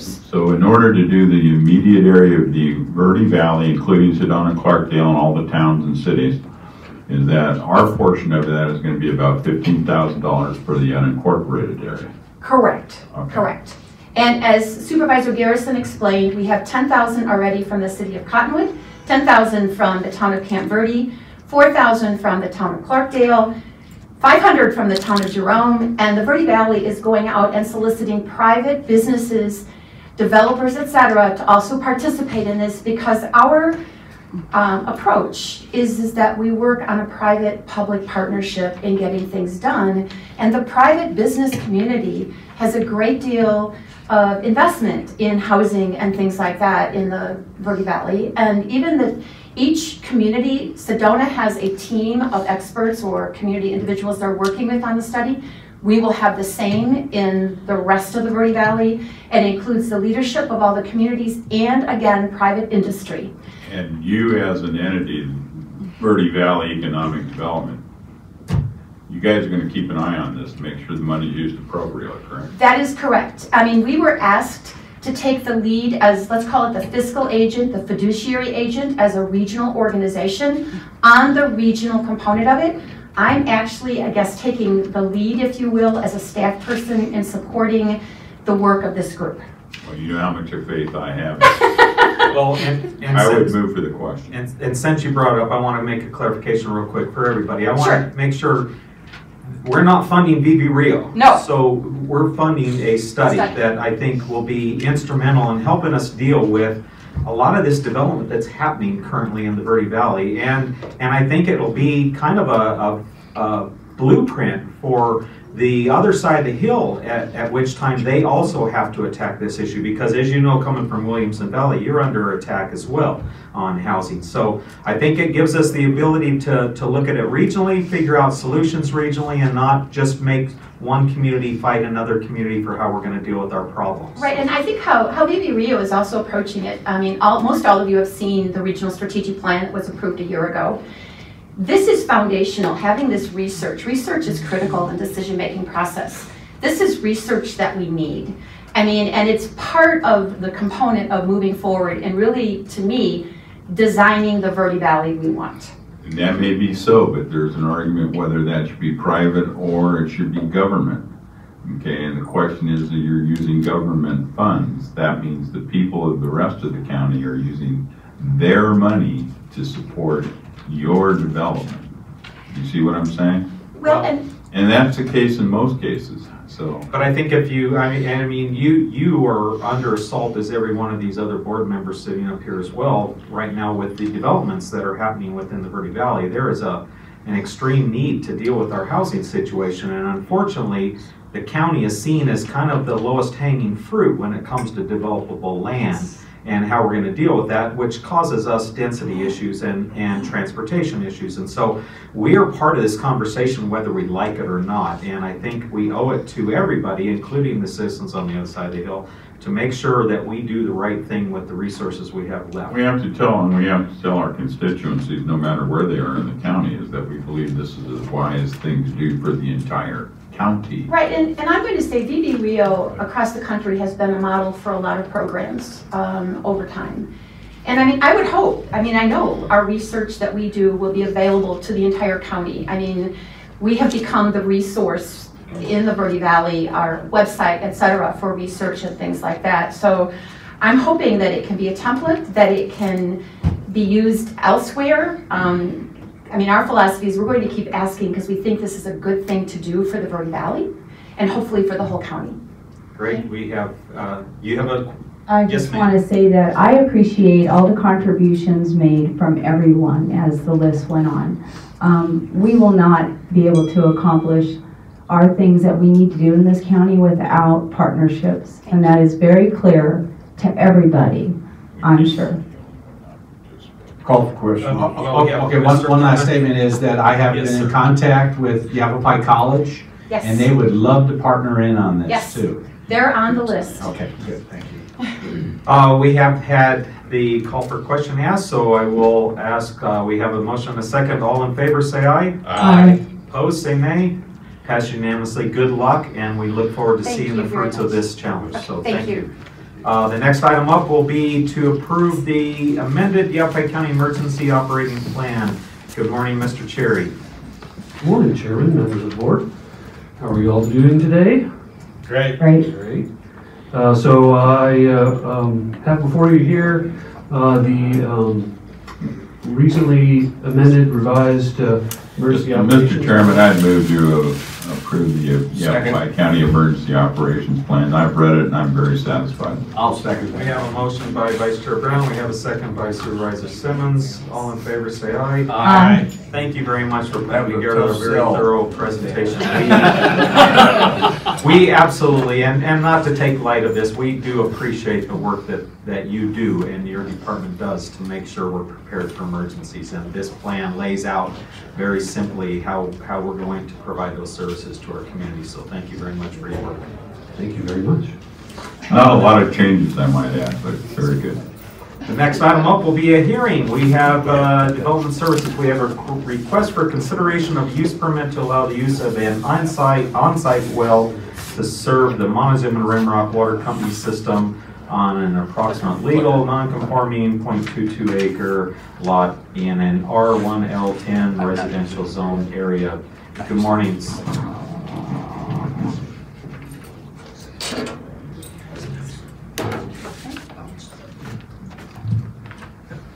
Morning, thank you, Chairman and members of the board. My name is Tim Olson, planner with Yavapai County Development Services.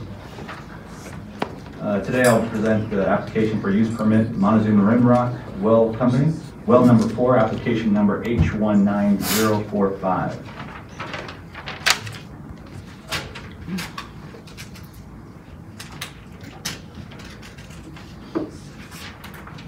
Property is located in Supervisor Thurman's district, District Number Two, in the Rimrock area. It's an area map, the area map showing location of the subject property being situated in Lake Montezuma Estates, Unit Number Two, on the west side of Timon Lane in the community of Beaver Creek. The Lake Montezuma Estates, Unit Number Two subdivision was recorded in 1968. The lots were platted within the intentions of developing a water and water system and utilizing the individual sites, uh, individual on-site water systems or wastewater systems.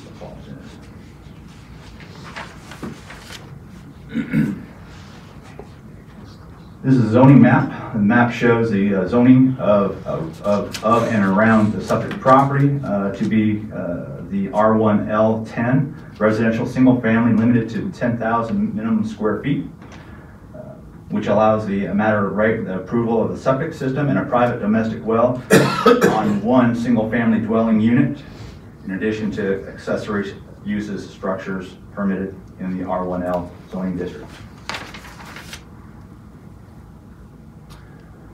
This is the site plan. The uh, applicant has requested the consideration of the use of permit to allow the use of on-site well on a 0.22 acre lot to serve the Montezuma uh, Rimrock Well Company and the R1L10 residential single family limited 10,000 minimum square feet zoning district.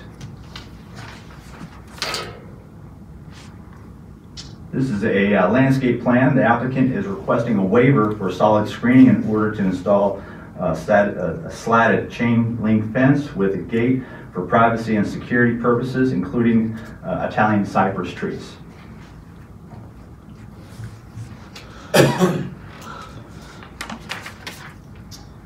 this is the front of the property looking west, southwest.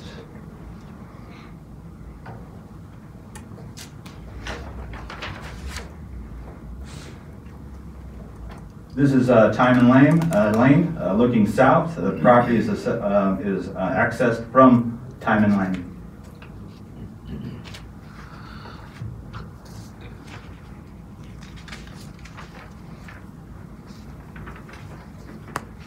This is looking west, rear of the property.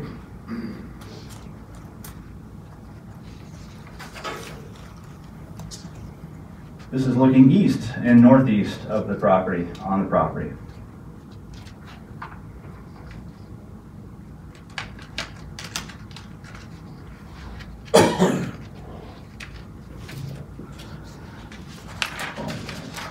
This is the well looking south.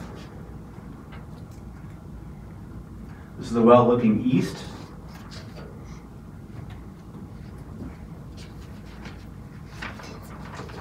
This is the latest um, survey submitted by the applicant dated August 7, 2014.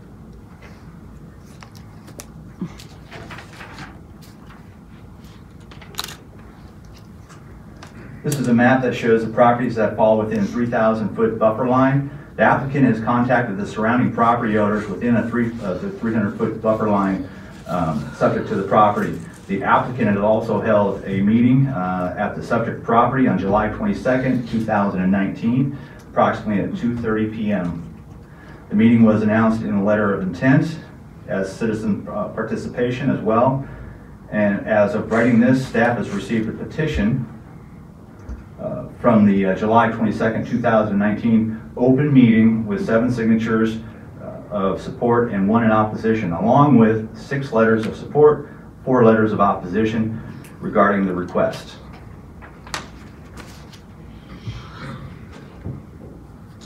In summary, uh, the applicant is requesting the uh, consideration of the use permit to allow the use of an on-site well on a 0.22 acre lot serving the Montezuma Rimrock uh, Water Company system in an R1L10 residential single family limited to 10,000 minimum square feet zoning district.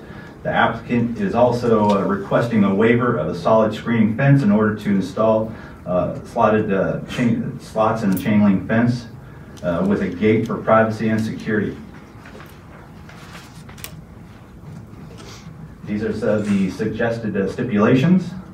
Uh, Should the board find that the proposed use is an appropriate land use of the property and choose to approve the Rimrock Water, Rimrock, I've got to get it down, Rim- Montezuma Rimrock Water Company well number four, use permit H19045, the following conditions of approval might also be considered.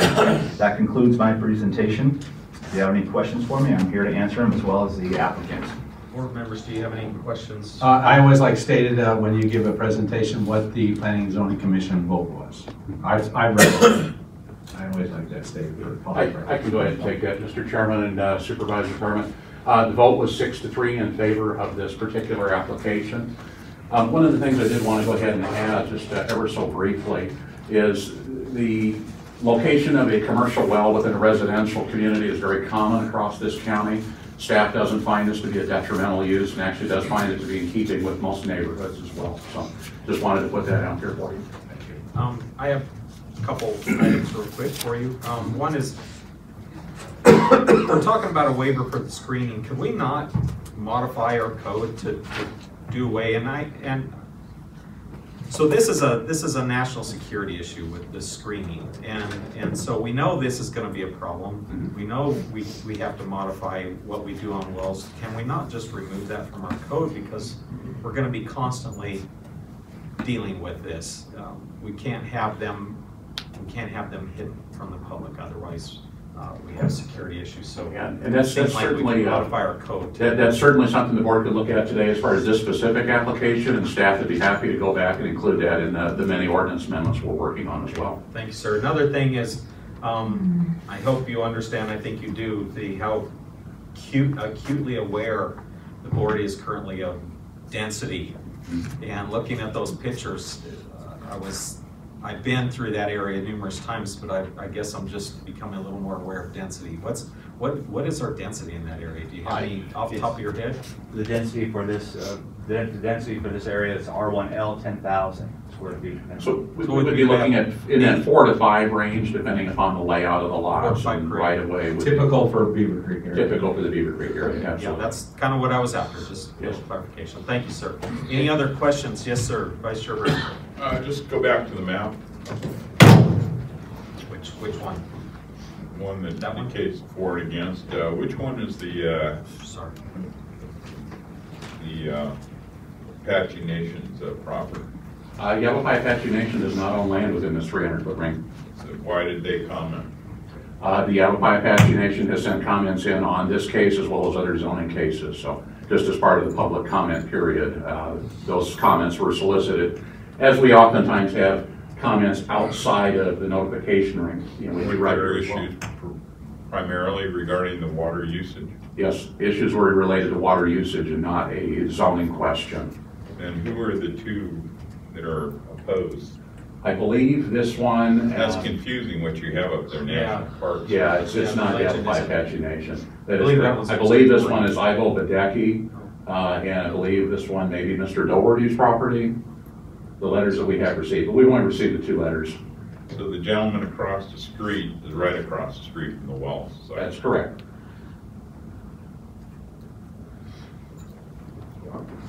Any other questions?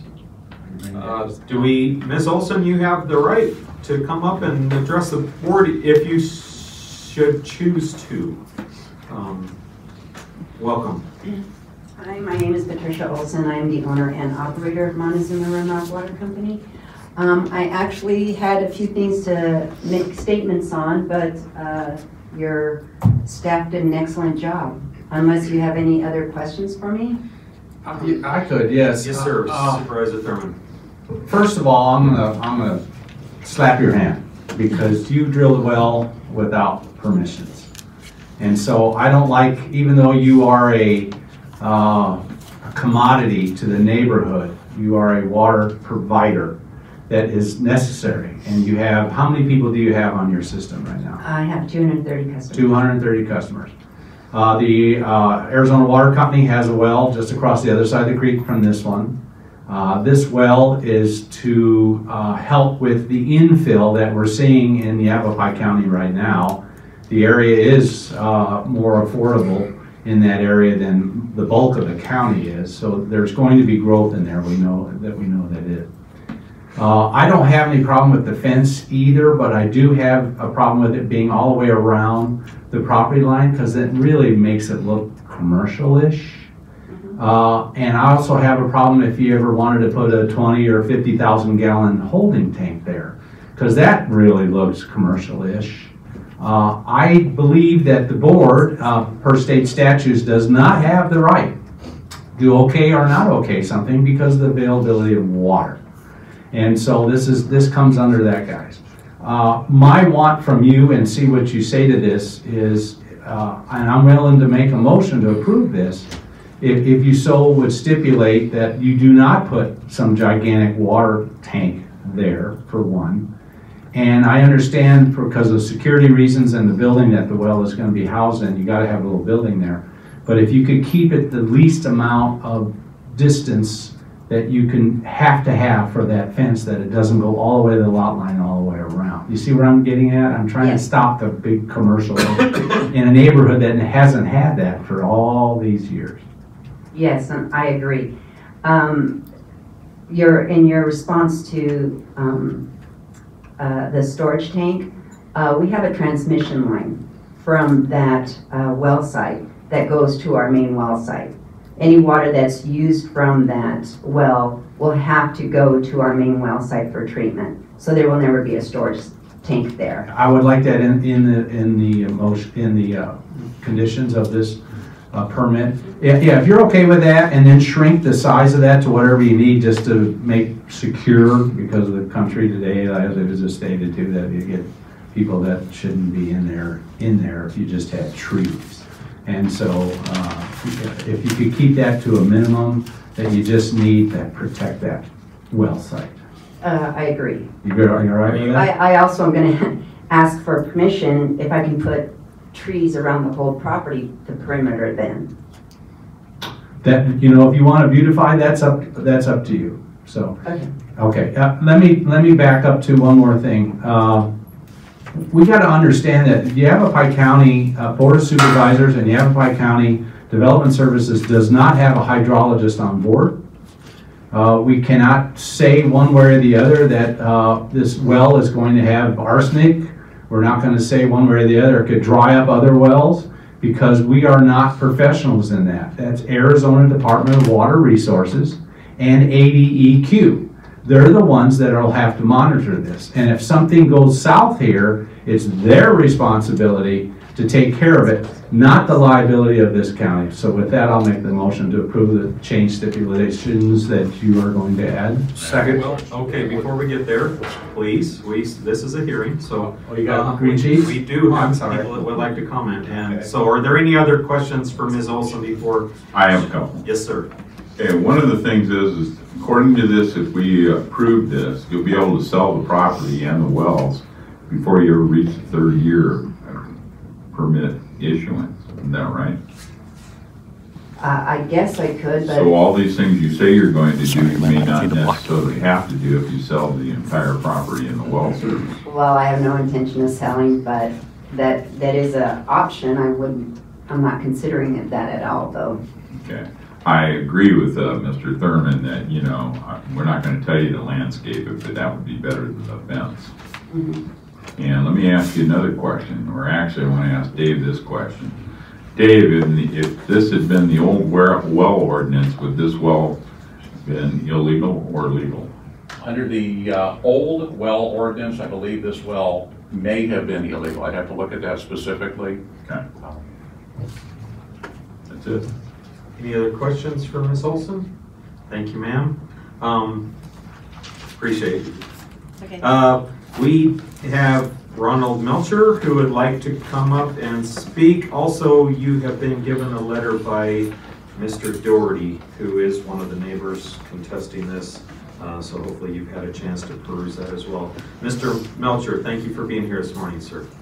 Good morning, I'm Ron Melcher, I live in uh, Lake Montezuma, Arizona. And Mr. Chairman and Supervisors, thank you. Uh, I'm, I'm here as, uh, I'm the Secretary of the Beaver Creek Community Association, and I'm here representing that association.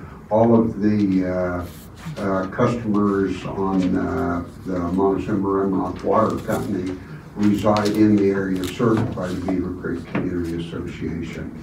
And so we feel a little bit of an obligation there. Uh, and uh, I, we've heard and we've watched uh, uh, stuff on this well and this piece of property go back and forth and whether it's placed well or not placed well on that property. But, you know, uh, small water companies in Arizona are a tough place to make a, to make money. And, and this well is drilled, the pump is in it, and the customers, uh, the 230 uh, customers on the water system deserve to have clean, fresh uh, drinking water uh, consistently. And we're concerned that without this well, there could be uh, failures at times to make that water available. So, thank you. Thank you very much, sir. Uh, Any other questions, comments, concerns? Uh, So this has been, we've added a couple stipulations that the applicant seems to be uh, okay with adding, which would be uh, some modification of the fencing, as well as some additional uh, landscaping that uh, you were going to do anyway, and the uh, stipulation in there that there will be no tank on site for the foreseeable future. That would be handy. And I apologize, Mr. Chairman, I don't have a keyboard. No, no, to- we're good, as long as you but noted. If, if I could go ahead and just note, uh, from the staff's point of view, what I'm hearing is that we would add a stipulation number six to include no storage tanks. um, Other than pressure tanks, you have to have one. Other than pressure tanks, no storage tanks, other than pressure tanks allowed on this property. And then we would modify stipulation number two. Um, Waiver of screening, re- waiver of screening requirement to allow for uh, chain link fencing, and what I would say is uh, chain link fencing um, in the least intrusive manner as determined by development services. With perimeter, parameter. Yes. Uh, uh, Least intrusive footprint perhaps. Right, yeah, that- let's do that. Least intrusive And- footprint. Parameter uh, landscaping. Yes. We're and we just can- trying to make sure she remains a good neighbor. Yes, exactly, and we can make sure that's enforced. Yes, yes, sir, Vice Chair Brown. Why, why three years? Why three years? The, On number um, five. That was part of the uh, discussion with the planning commission, and the planning commission voted to increase it to three years. What was the reasoning? Um, I believe the Usually any kind of construction is usually a year, so when we're looking is. at here, we're thinking three, and this has already been constructed. It, the well itself has been. So I don't have to constructed. put in my chain link fence or my bushes or anything like that for three more years? Well, I would ask that the chain link fence be installed as soon as possible. I think she's probably willing to do that. But there's other state licensing requirements that do have to come into play uh, to take care of that. And that's why we put in the three. years. Yeah, and I believe that That's is what the- exactly re- the reason for the three years. That was because a of the discussion. State licensing because processing. it becomes a domestic well service. ADEQ, yes. The, the time it takes to get through the state process anymore. It has nothing to do with the. And, and quite frankly, if the board would be interested, we can add into the waiver of screening, a time frame for that screening to go in if uh, Ms. Olson would be amicable to that. I think, I think we're good. I think it's I close. think we're Okay. good. I think we all understand each other. Too much minutia after a while. Any other questions for either the applicant or Mr. Williams? Uh, We'll go ahead and call the question. We have a motion, we have a second. All in favor, say aye. Aye. Opposed? No. We have No. two opposition, three in favor. Uh, Vice Chair Brown and Supervisor Mallory voted against. Uh, Chair Garrison, Supervisor Simmons, Supervisor Thurman voted for, so we are approved. Thank you very much for your presentation this morning. Thank you. Uh, The next item up, we will have the approval of a liquor license, uh, Department of Liquor License Control Series 18 Craft Distiller application for Eric Glomski of Page Springs Cellars. We have a motion by the chair and I believe a a second by Supervisor Thurman. This is my, my district, you guys. No, Do we have any I'm fine with discussion or concerns? This, I do not see any. I have one concern. Yes, sir. I think really that uh, Supervisor Simmons should start counting the amount of liquor stores in the district. Vicinity. Paybacks. That's paybacks. Yeah. Well, as you can see, we're running out of water, we gotta go to something. That's okay. All in favor, say aye. Aye. Opposed, say nay. Passes unanimously. Thank you very much. Uh, We will now move on to a presentation by Amber Stewart, the recruiting assistant with the U.S. Census Bureau. Thank you very much for your patience, ma'am. Oh. You are up. Yeah, actually. I was gonna say, that should have been changed, I apologize. Oh, no worries. Come on up, Kim. Thank you. I'm actually Kimberly Robinson, I'm a partnership specialist with the U.S. Census Bureau. Uh, my territory is Northern Arizona, thank you very much. And I'm based out of Flagstaff, Arizona. All right, this is all about the 2020 census and what you should know about the 2020 census. Why we do a census? It is federally mandated. A lot of folks actually don't know that it's in the Constitution that for every 10 years that we will go around, the U.S. Census Bureau will go around and count everyone in the United States. We've been doing that since 1790. And the numbers that you get from your census stays with your community for 10 years. Keep in mind that your census form is confidential. All census employees, regardless of their position, are, um, are sworn to confidentiality and privacy for life. And your information is protected by Title 13 of the U.S. Code. We never share information with other government agents, agencies, and also all your information is purely statistical. It is all guarded for 72 years. So in 2022, look for all those ancestry websites to do a big push to have you come back to them because the census information from 1950 will be released in 2022. Your congressional representation is affected by your census numbers. So everything that the Board of Supervisors, everything that y'all have been talking about, the numbers, the dollars, all that, uh, census touches all of that information that you get. You distribute money based on your census numbers a lot of times. And here is our road to the 2020 census. Beginning March 12th, 2020, you'll be able to respond online. For the first time ever, the census will be online. You can also respond via phone. So there is a big push for March 12, 2020. If you don't want anyone knocking on your door, please go ahead and fill out your census form as early as possible. If you're tired of seeing me, fill out your census form as soon as possible. If you no longer want to speak to me, fill out your census form as early as possible. Uh, March 12, 2020 is the internet self-response. But there are different ways that we will get your information. If you don't want to fill out your form via the internet or call it in, or if you're in a situation where you do not have a mailbox, for example, you were never given an option to have a home mailing address, you only have PO boxes. Starting in mid-March, you will get an invitation to respond postcard and or you will go ahead and get your census form. Now, the official census kickoff day is April 1st. However, not everyone has home mailing. So again, if you do not have a mailbox in front of your home at all, or if you were never given that option, you only have a PO box, then you will either get a census worker at your door, or you can respond online or via the phone. We'll start reminding people later on in March, and if you haven't responded yet, you'll get another postcard. And beginning in, at the end of April, we'll send you a final reminder, and then the folks that we call enumerators, your census takers, will start knocking on doors. Now, keep in mind that the census is federally mandated. So the no trespassing signs, to get off my property, things like that, we can't heed those signs because we're there to do um, a task that has been mandated by the U.S. Constitution.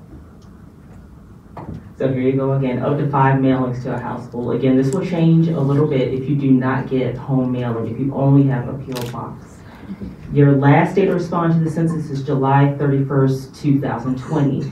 So you have a very active complete count committee here, and those are the, that's a team of folks that come together to make sure that Yavapai County is counted.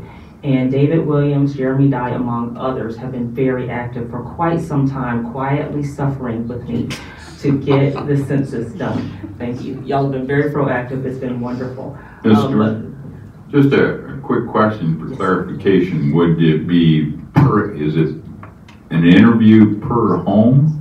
That is correct. It is uh, an interview. So it's not everybody in the house, it's just one person? the head of household, so to speak, and that's someone that identifies him or herself will be the person responding to the questions. That is a little difference when you go to things like group quarters, dormitories. Um, you will also have some different situations where everyone in the house, for example, if you have a group of students living together, unrelated groups that stay together, they can go online and respond to the census separately. But our preference is for every household, there's one person. Also, so you're aware, and maybe you are, but there's peop there's folks that live in District Four, and I'm not picking on District Four, but there's folks there that really need, re- really need to have a deputy with them when they go out to some of these private properties, because they're kind of notorious, to say the least. Absolutely, and I, based out of northern Arizona, ninety-five percent of my territory is very rural. I live in a rural area myself in Flagstaff. Unfortunately, we cannot have law enforcement accompany our our enumerators because of confidentiality issues. Really? That's correct. Actually, what we are asking for, um, especially with our complete count committees, is that you have someone that we can reach out to quickly if there's a problem. Um, again, if someone does not want to be approached, our enumerators are not going to just roll up and, and just, you know, face down uh, someone that's threatening them. We can leave and we can come back later once you're able to verify our identity. And that has happened before. I've had people call me um, that live in rural areas because my, my phone number, I make it readily available. And they've asked me to identify someone or they've received an American Community Survey and they're not sure what that is. Can you hang something on their lock gate that says, please call, this is just a census worker type of thing? Absolutely. With that, with that list of requirements, things that we do, we go and knock on the door with the reminder postcards and all that. Um, if you don't have a mailbox, what we'll do is leave a census form for you and you can fill it out. However, keep in mind, if we don't hear from you at all, then someone will have to come onto your property.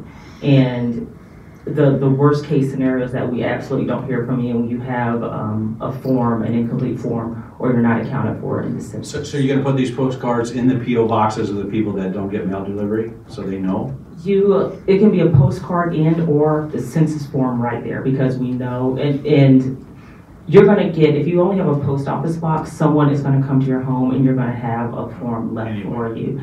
Most Right, of so- them fill out the one in the post office box. Right, that'll be That way they a don't have you reminder. coming to their home. Right, well, it'd be a reminder, however, you're not gonna get a census form in your post office box. What we'll do is, we'll have to come visit you come March twelfth. You can fill out the form. This is for folks that only get mail via post office box. So to, to make your job easier though, would be be- th- this, this post, because I live where there's no mail delivery. Uh, this, so if it, if there's a notification at the post office that you need to do that, on that notification, I would imagine there's a website that if you want to do that, so that would save that census worker from coming to anybody's house if they've done it online That is correct. prior to that date. That's right. So, so March 12th, when you get a postcard, there will be a 12-digit identifying number there. Don't worry about if you lose that postcard. It's perfectly okay. You can still fill out the census form online. And yes, if you don't want, um, if you know you have an address that's really hard to find, or you don't want the census workers to come out, then yes, we strongly encourage fill out your census form online or via telephone. What if you own three or four different homes and you're at one another now and then? We'll, we'll Which one are you picking. I don't want to sound threatening, like we'll track you down. Oh my God. You work for the NSA too on the side? We, we always account for every home, uh, but that's where, again, your census team here in Yavapai County is very helpful. Your GIS specialists have been toiling, uh, for quite a few months to update those addresses, but we have to account for every address. Okay, so the census is easier, as I, I just, as I discussed, you can fill it out online, by phone, or the paper questionnaire. And if you choose to fill out the paper questionnaire, you can get in either English or Spanish. If you go online, there are 59 different, I'm sorry, English plus 12 non-English languages available online. And if you call in, there are 59 languages available now. Each of them will have a separate phone number. For your internet self-response, you have the tabs up there on top. And what you can do is pick a language based on the tab. So this is what I briefly mentioned, group quarters. Most of the counties, I, I work with four counties out of the five here in northern Arizona. Most of you have a group quarter situation where it's a residence hall, a group home, prison, nursing homes, residential treatment centers, or workers' camps. That's where a group of unrelated people all live together and the housing tends to be paid for by one person or it's, it's not what we consider um, a traditional family like everyone is related. Service-based enumeration, those are your mobile food pans, your soup kitchens, your emergency shelters, and what we call TNSOLs, targeted non-sheltered outdoor locations. Those are your folks that have the shanty towns under the bridges. Yes, we'll be counting them too. And that's again where your census team has been very active in helping us locate these folks. If you do have TNSOLs, um, I'll work with your census team here and we'll try to locate them. And what I do is I fill out a form and say, yes, there are a group of folks that hang out under this particular bridge. And when it comes census time, we'll make sure an enumerator's out there taking those numbers. So for questionnaire assistance sites, what assistance pops off, I'll be working with your libraries and your community centers, and that's where I'll be there helping folks fill out the census form. Not necessarily taking data. Um, I'm not going to be an enumerator. I'm going to take. I'm not going to take any personally identifiable information. But um, your librarians have been very helpful. I was at their big meeting earlier this week, and there will be um, technology there to help folks that perhaps don't want to call in or just need a little help filling out their census forms. So here are your critical dates. March 12th, internet self-response, May 13th, or maybe a little earlier, non-response follow-up. That means we haven't heard from you. So census worker will be at your door. And then July 31st, drop dead date, fill out your form.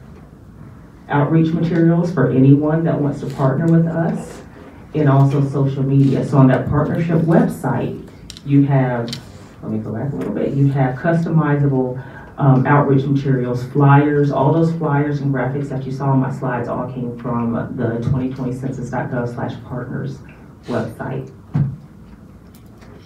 We are all, we are very active on social media. All of our recruiting folks and I, we put out things on social media talking about jobs and just general information. So we do look to the public uh, your trusted voices, your known faces. We look to the public to please educate folks about the census right now. Just plant that little seed to let them know that we're not out to get you. We just want to get your numbers because it's important for your community. Yes, we are hiring. As uh, your board of supervisors mentioned, we are hiring. You can go to 2020census.gov slash jobs. We prefer to have people of the community that know that community to be knocking on doors because people may not want to see me, but they will definitely want to see Mr. Thurman because they like them. What do they pay? Uh, Yavapai County, sixteen fifty an hour. How much? Sixteen fifty an hour. Yes, sir. And the enumerator jobs, the census taker jobs are very flexible. You basically pick your schedule. Um, but two of the basic requirements are eighteen years old and please have a motor transportation because you'll be driving. We're also looking out for uh, administrative folks too. You pay their, uh, the mileage to federal? That's correct. The uh, mileage reimbursement is 0.589 miles, uh, 0.589 cents per mile. So about 60 cents. That's right. Census Day, April 1st, April Fool's Day, but it's no joke. All right, we're going to count everyone once, only once, and in the right place. And the information and customizable materials is there on 2020census.gov slash partners. Yes, you can co-brand. Um, your census team has been very active here in Yavapai County, and you do have census teams, not just for the county, but you have uh, Clarkdale, Prescott Valley, and Prescott are very active, active too. Uh, they are customizing the information on the partnership portal on 2020census.gov. And this is my information uh, for all things uh, census. Uh, the lady that you mentioned, Amber Stewart, she is recruiting technician and she is uh, all things jobs. Anything outside of that, you can reach out to me. Uh, you can call or text me. I do have folks, I did a presentation uh, for the Yavapai County Libraries and I do have a, a couple of people texting me today asking questions. Um, also, you can have this money, I'm sorry, no, your community can have the money. But you can have my information for your frontline folks, like your administrative people. So if someone walks into the building when the census kicks off and they need to know if someone at the door is really a census worker, uh, I like to have all the frontline folks with my uh, that know my information so they can reach out to me quickly. We've given that information to the sheriff's department, I would assume, correct? Probably so. Your census team has probably mm-hmm. done that because. I just, mo people are suspicious of other people, usually call the sheriff directly, you know, on nine-one-one or something like that. If they're aware of the census people being out there, then they would be able to, you know, let people know in advance so we don't have sheriff's deputies running all over the county to these false calls. That's very true. And actually, your census team here in Yavapai County has engaged law enforcement. I've seen them at the meetings. And I also reach out personally to all law enforcement so they know my face. They have my information too. The, one question, if, if I'm not counted, how much does that cost the county approximately over the Your numbers uh, were correct. It'd be over $20,000 per person. So uh, it is very important for every one person that you, that does not get counted, that's a road that's going to be not fixed. It'll be longer deferred maintenance, your Title I schools are around, your free meal programs, even things that you don't think touch you, um, all the way down to interest rates for home loans. Companies use census data for this. Uh, so if your community planners are trying to get a, a playground built or a recreation center or community center built, if the numbers don't back it up, they're gonna have a really hard time unless you want to see me again in 2025 and have a recount that the county will have to pay for. So yes, it's very important, extremely important to get these census numbers. So not all heroes wear capes, but all heroes fill out their census forms. I, I I haven't read this new one. Is there, is there, uh, income demographics as a question? Income demographics is not a question on this particular census form, the decennial census form. Income is a question on the American Community Survey, which we put out sporadically to about thirty percent of the population, and that's what people call the long census form. It asks a lot of questions. Okay. And then the next question when will the official stats come out?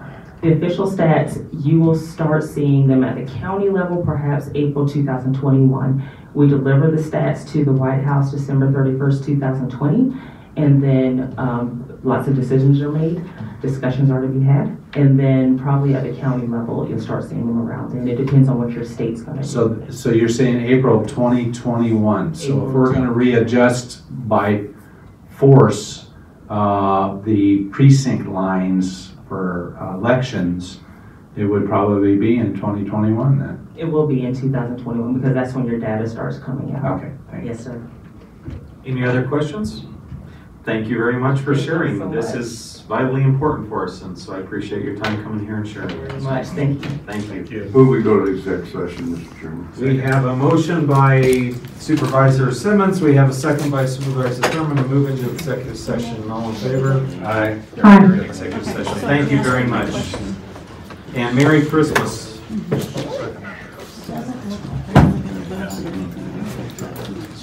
Happy holidays. Kwanzaa, Hanukkah. All that stuff.